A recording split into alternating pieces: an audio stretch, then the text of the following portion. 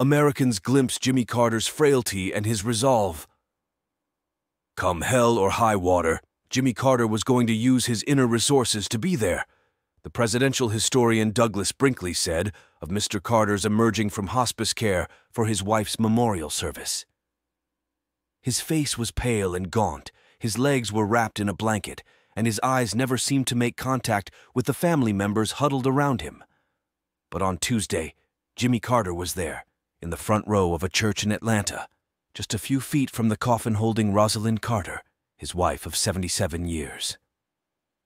Mr. Carter, 99, was some 164 miles from his home in Plains Gay, where he had been in hospice care since February. He was brought into the church in a wheelchair as the crowd of mourners at the memorial service looked on, many of them catching their first glimpse of him in nine months.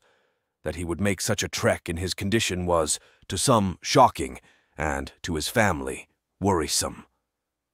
And yet it was also very true to form, a display of the tenacity, bordering on stubbornness, that has been a defining characteristic of Mr. Carter, the longest living president in U.S. history,